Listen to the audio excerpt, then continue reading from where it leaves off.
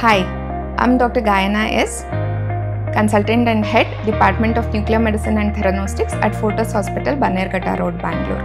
What is metastatic neuroendocrine tumor and when this metastatic neuroendocrine tumor needs to be treated? To understand this, let us go through a patient's journey. A patient comes to me in 2021 with metastatic neuroendocrine tumor because it has spread to liver.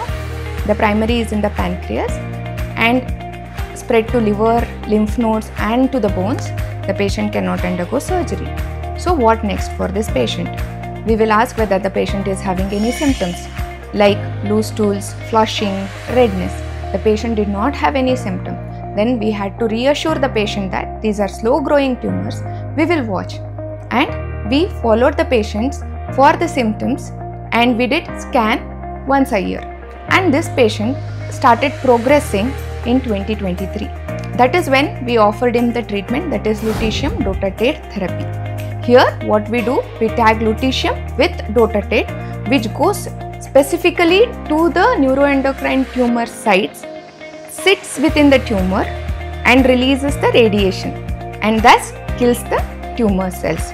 This will bring in tumor control and if patient is experiencing symptoms due to neuroendocrine tumor then the symptoms will also come under control. This is a simple therapy done as a daycare therapy given in 2 to 6 cycles. based on the disease burden and we are going to give pre-medication. The medicine is usually injected intravenously and the patient will be discharged the same day.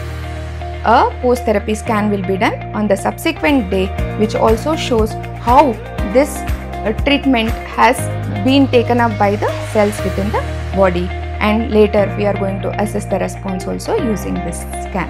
Thank you.